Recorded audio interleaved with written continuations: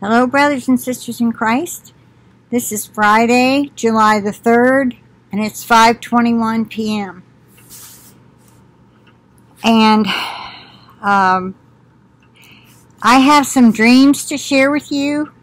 Um, I am sure they are prophetic. Um, I'm pretty sure they are.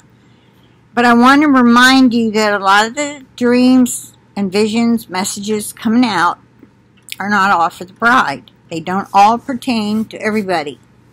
Just as ones for the bride do not pertain to the all the church because they're not all ready to go. So please keep that in mind and remember we are not to fear. If we are here to see any of this, so be it. It's the will of the Lord. I don't know why we would be when Luke 21:36 says, "Pray that you may be counted worthy to escape all these things that are to come to pass and to stand before the Son of Man. So, with that, I'm not going to tell you who the people are, just the dreams. Um, I can say this this one here was from a young man, a child. Um, but he felt led to share this. It was from about a month ago. Um, oh, we turn nine in April. Seems the dream has different sequences and places, sort of at times jumping from one scene to another. The bullets and police missiles flying around made me think of Dana's gargoyles. If any of you saw the video that I posted couple three nights ago about dreams someone's dream and then I shared a video about Pastor Dana out of Kentucky how he had three dreams. Well he said three but I listened to it twice and I only heard two. But I did have to stop it and then come back to it so maybe I, I missed the sentence where he said now the third dream was blah blah blah blah and I thought it was all one, for the second dream. But anyway, yeah, there were gargoyles flying around. I believe he said 10 feet off the ground, like right overhead then. And I'm like, Lord, that is something I surely want to escape from. Okay, so if you don't mind, get us out of here before that happens. Although I guess we could just stand here and look at him and say, Jesus rebuke you I rebuke you in the name of Jesus or whatever. Like I said, we're not to fear. All right, this was June 1st, 2020. My son is a hot air balloon. Oh, she probably meant my son is in a hot air balloon with lots of people and a captain, all worldly. Captain wants to go to the very end of the universe, to the last planet, and even beyond. My son tells him it's impossible. It's not going to happen. There's no oxygen there. My son feels anxious already with the current lack of oxygen. Captain is pompous and sure of himself. Oh, we'll do it. Before long, Alarm sounds are coming. The balloon is starting to fall. But my son is not scared. He knew this or something like this would happen. My son thinks, quote, it's time, unquote, and everyone dies now. He goes to heaven, others to hell, but to his surprise, the balloon with captain and all folks fall into a giant stinky dumpster that's soft, full of biodegradable trash and other soft stuff. My son said he laughed about this part when we woke up. The trash was so stinky, though not dangerous. The captain was infuriated and surprised about what had happened. They climbed out of the basket, of the hot balloon, the hot air balloon. Now my son is in a dangerous city full of chaos and violence. There are some dead bodies lying on the ground, but none, but more so, lots of panicked people running all over. Super large bullets, police missiles are flying around. They are four feet long and about a foot in width. They have red, blue, and white lights flashing on them, kind of like the lights of a police car. These missiles find their targets are computer controlled. My son is not afraid. He knows where he's going if he dies. One missile hits him in the back side of the head but it doesn't really hurt him. Though others die, hits him in the back side of the head, but it doesn't really hurt him. Though others die if a missile hits them. To my son, it only put a little bump on his head that healed quickly. Hmm. Again, another missile comes toward him, but my son dodges it easily. It comes back, and my son effortlessly smashes it with his fist. Mom, I was super strong. I had huge muscles. The bullet explodes with a red flash of fire.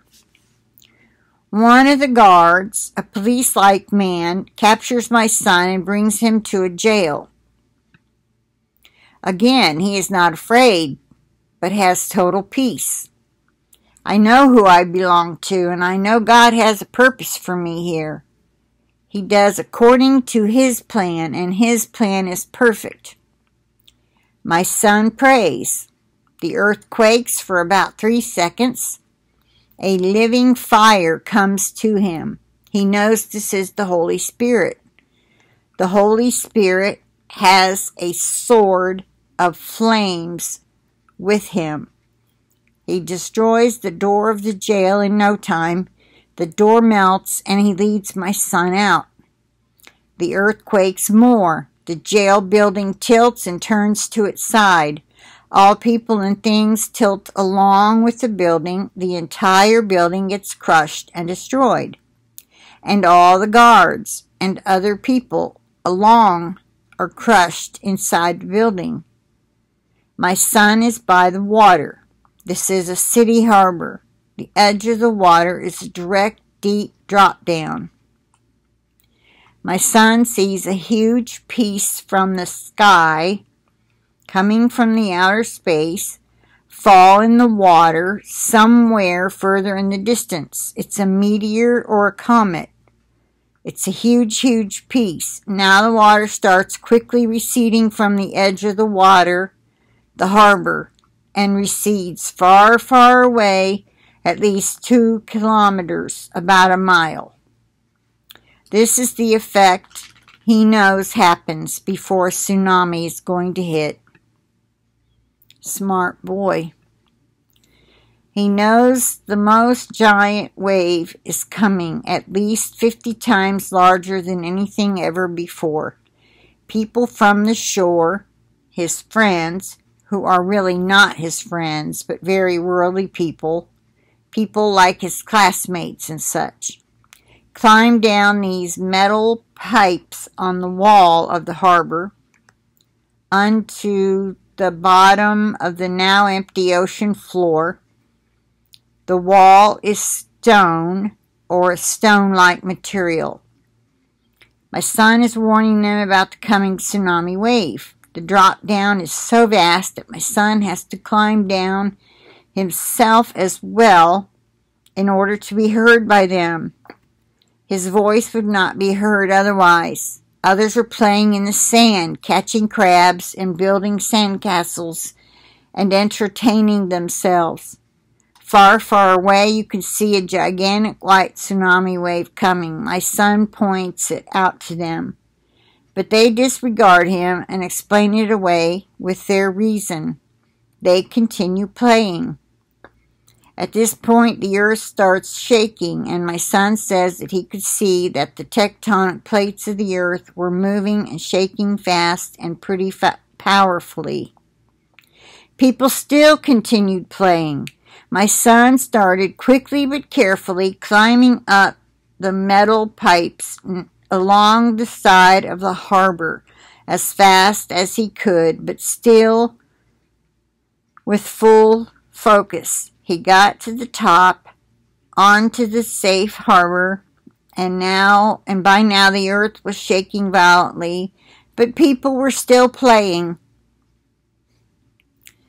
I can just see this happening. It started to get darker at this point. It was dusk. My son was walking fast, away from the shore, as far as he thought he could, to get to higher and safer ground. At this point, he started hearing a loud sound that resembled almost a machine gun.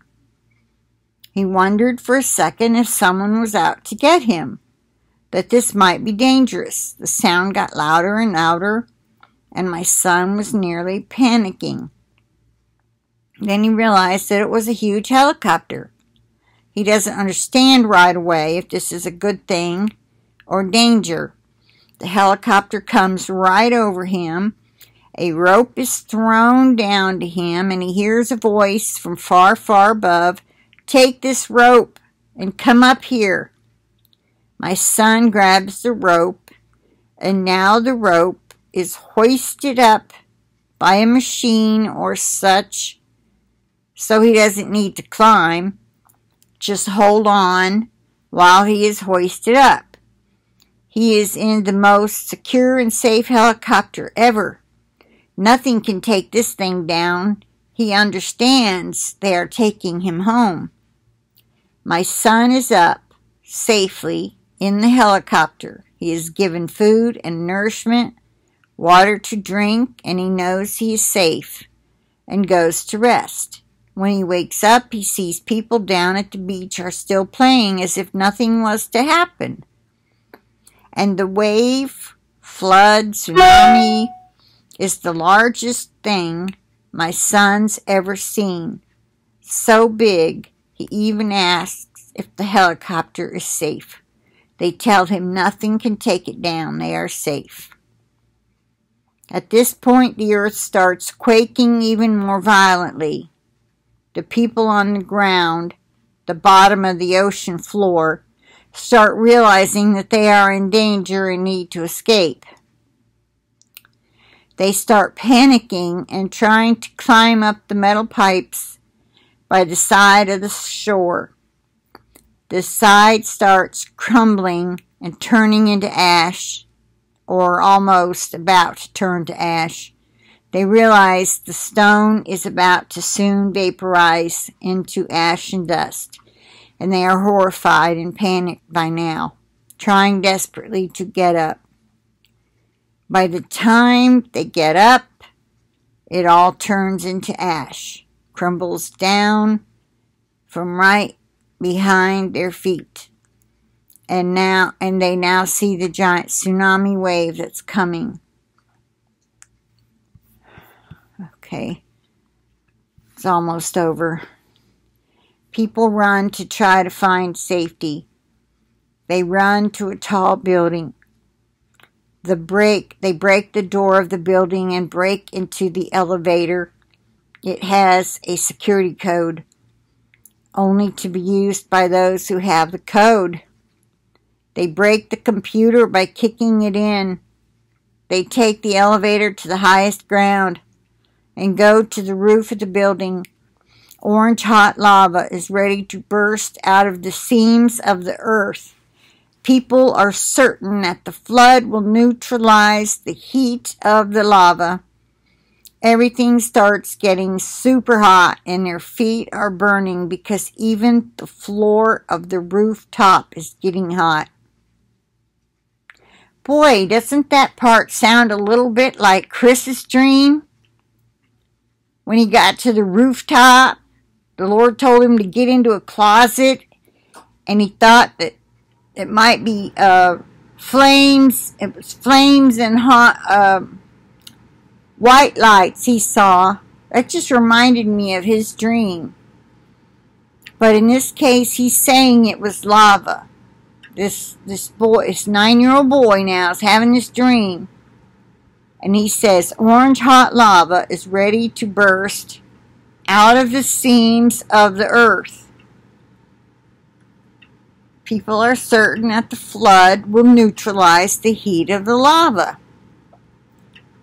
Everything starts getting super hot and their feet are burning because even the floor of the rooftop is getting hot. The earth quakes so much that it's moving like it's literally jumping. People are moving up and down by multiple feet. I guess moving up and down several feet up and down. Rocks and giant pieces of rock fall on people. At this point, the tsunami wave hits the lava and the fire burns through the water. And people realize neither the lava nor the flood will stop. People get so scared. My son sees one completely lose his marbles he his screws come out of his head and he faints out of horror and out of lack of understanding of what is really happening. Lots of people faint now. When they wake up, the building tumbles down, everything gets crushed, there is fire, ash, earthquaking, giant flood all at the same time. Everything burns. The earth melts. The helicopter arrives to its destination, and my son knows he is home. He understands he's in heaven, and I'm there too, waiting for him.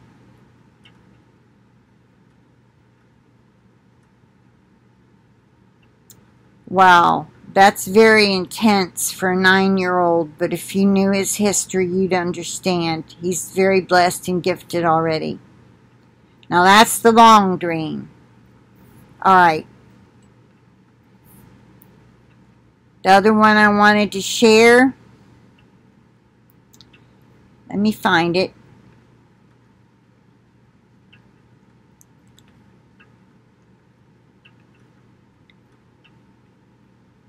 Okay, I thought it was right near it. Hold on, give me just a minute.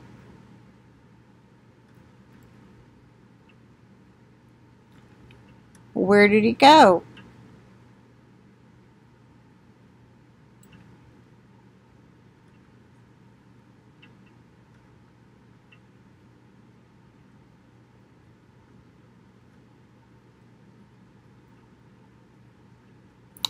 Oh, I think this is it. All right. Now, this lady says, My friends, I have been having consistent dreams of being in great darkness. I believe that this is my, I'll read it first and then I'll tell you. She's having dreams of, consistent dreams of being in great darkness. Something is coming very soon. It is spiritual darkness for sure, but it may also be a darkness brought about by an EMP. I had another dream last night. I was walking down a very dark street. I knew I had to hurry home. Suddenly, I became aware of something coming behind me. I looked back to see what appeared to be an older black man, a short child, and a strange looking dog. I ran towards my home, which was a beautiful mansion. I opened the door, looking behind me, and they were approaching me quickly. I ran inside, slammed the door, and locked it. Just before the door closed, the old man gave me a demonic smile and said, Aren't you going to let me in? I yelled, No! Then I awoke. Okay. And she was warning all the people this was sent to pay attention to the warning dreams or warning videos she's been sending. Okay.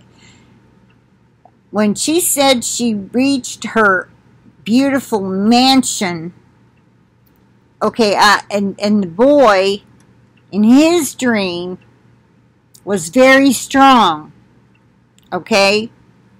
He only had a little, he had some anxiety and a little fear here or there, but for the most part, he wasn't scared. And he was able, at his age, to climb all that way up and and this helicopter was sent to pick him up. Okay, this is just what comes to my mind in both these dreams. We've been raptured we got our instructions. We were sent back down to help the people down here and get ready for the second rapture.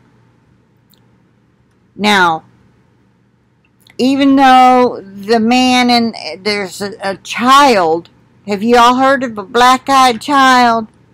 They have great big eyes. They're beautiful. They're demons.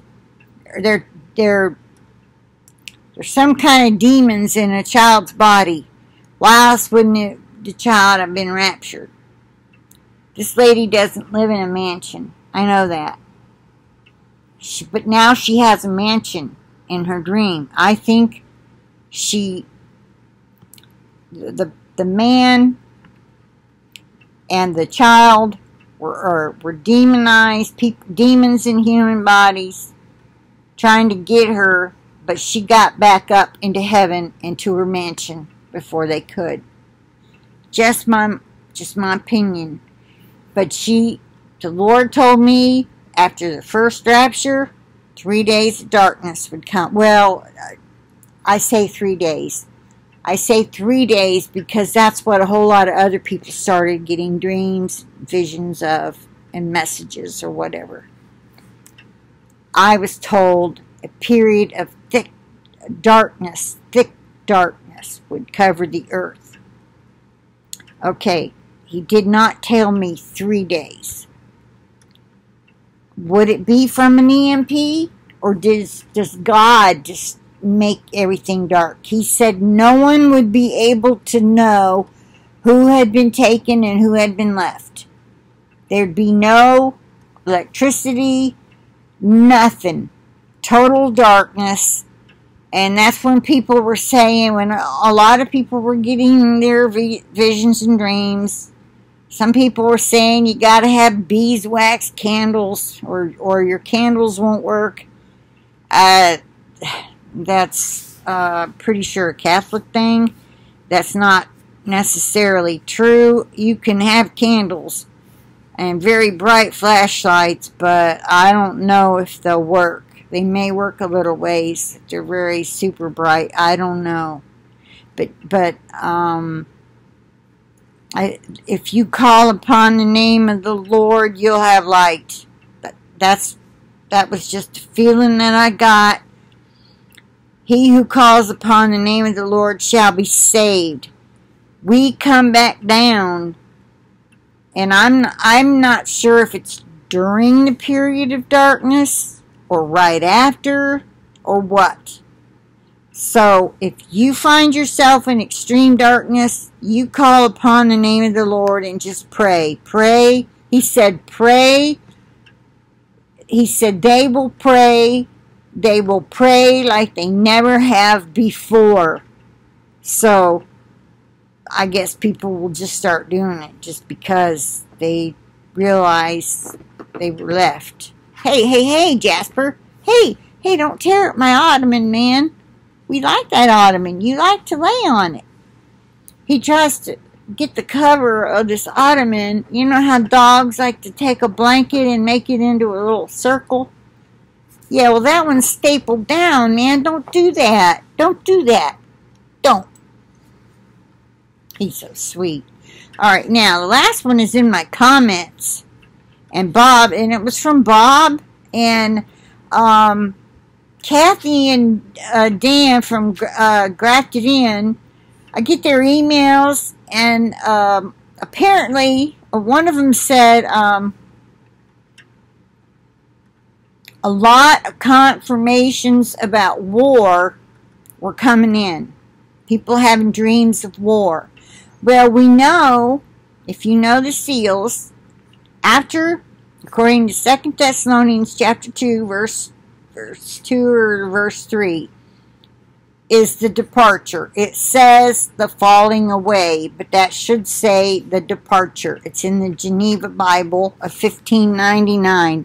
Hey man, don't tear up the furniture. Jasper, stop it. No, no, no. No, no, no. He's getting anxious, wants to play. Okay. Where was I? Oh, yeah. So I saw that title that she had. Uh, there was a video, and then she said lots of confirmations coming in about war. Okay. Well, let me read to you. Um, let's see if I can find it on here.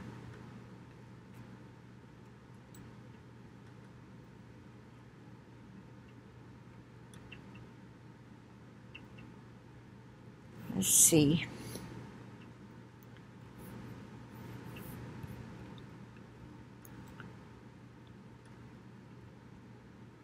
I believe it's under this video. I couldn't, I guess I could have had them all open. No, I couldn't do the two emails. I couldn't have two emails open. I, could, I couldn't figure out how to do that, but I guess I could have had this one. Okay, here we go. Um,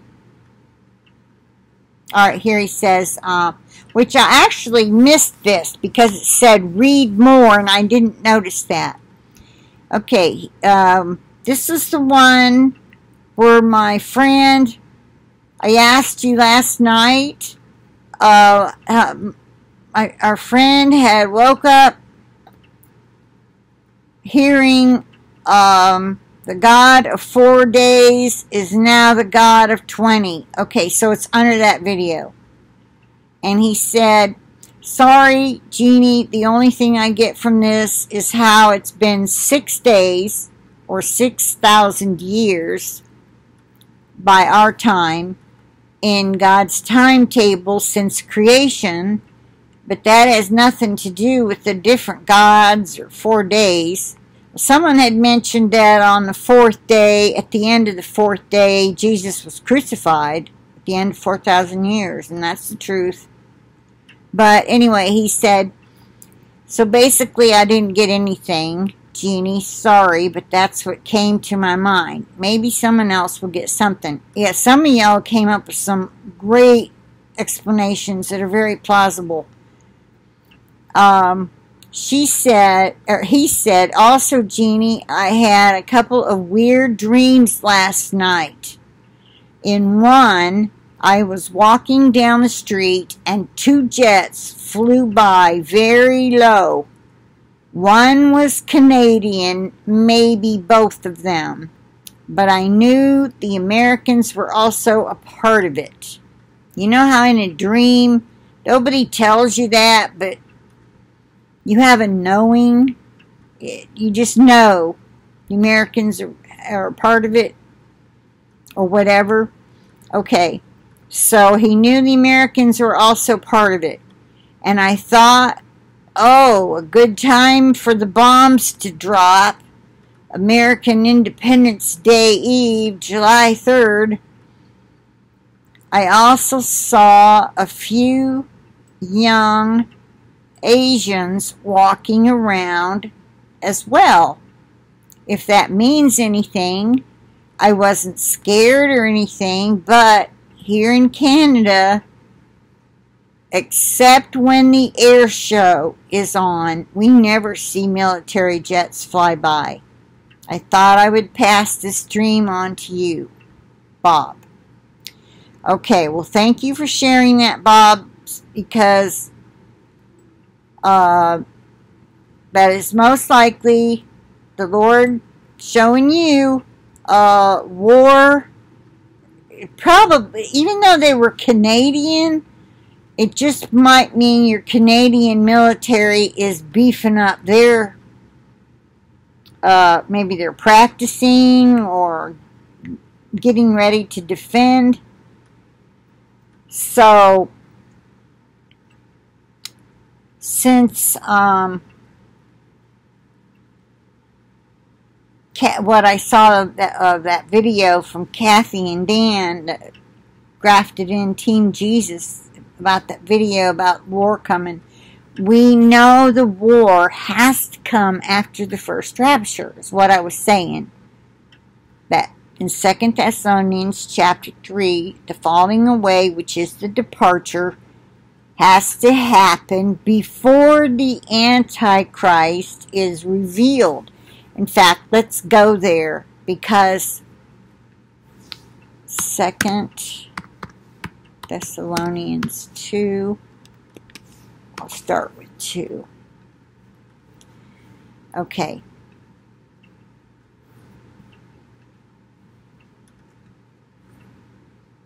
Let's make it bigger. Just come in.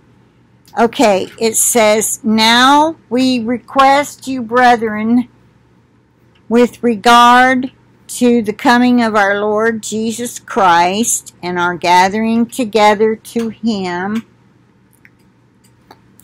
Okay, verse 2 that you not be quickly shaken from your composure or be disturbed either by a spirit or a message or letter as if from us to the effect that the day of the Lord has come.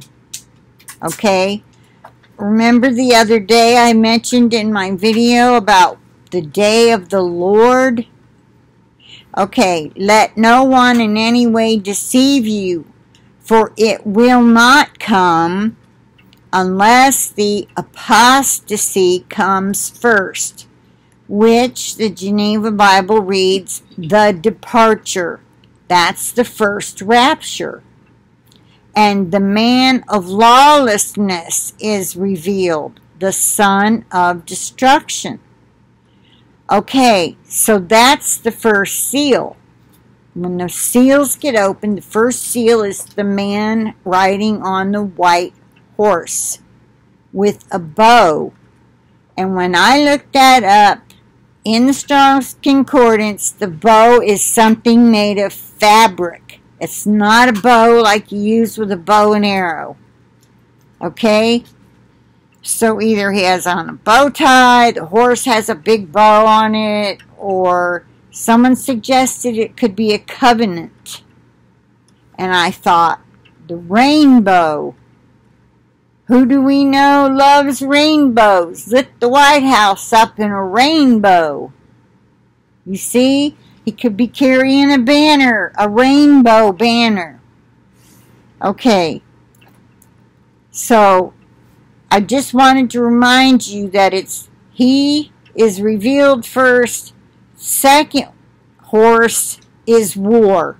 Okay, so don't let all these dreams and visions or whatever about war and destruction cause you to fear. Luke 21:36 I will say it again. Pray that you may be counted worthy to escape all these things that are to come to pass and to stand before the Son of Man. I'll plead the blood of Jesus over this video myself, my computer, my internet connection, and over each and every one of you and your devices and your internet connections. And with that, I'll say bye for now. I will talk to you later.